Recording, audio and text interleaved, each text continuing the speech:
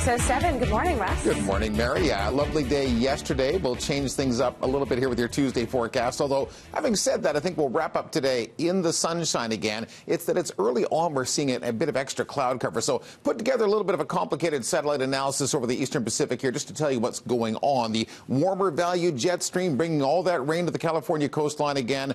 A little bit of that moisture becomes entrained in this circulation around this sort of double barreled low off the coastline. Our high pressure ridge, it's getting squeezed out, which means lots of sunshine still for the interior regions and all across parts of the Cariboo, the central interior, the north coast looking nice. Extra clouds now spreading in over the southern interior as that ridge begins to get squeezed out. And the circulation around this twinning, twinning low here drags colder air into the main circulation off the shoreline, which starts to drag some of those clouds up from Washington state. It'll be trending overcast temporarily this morning. Sun comes out again this afternoon, and then things get interesting in the second half of the week. So we'll look at those clouds right now, which are beginning to fan out across the lower mainland.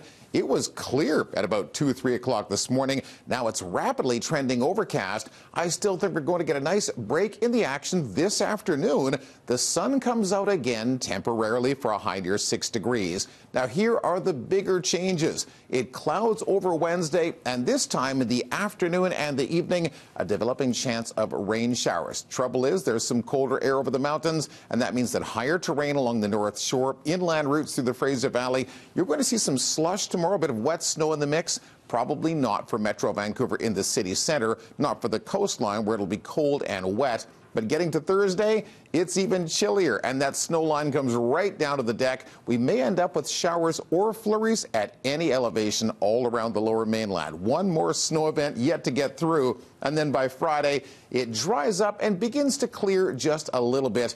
Have a look at the weekend weather pattern. The normal high is 10 degrees, and we finally get there. The sun coming out Saturday and Sunday. Great timing, especially with more wetter weather on the way for Monday. We might start finally trending towards something warmer and wetter, Thor, but it's a little ways off yet.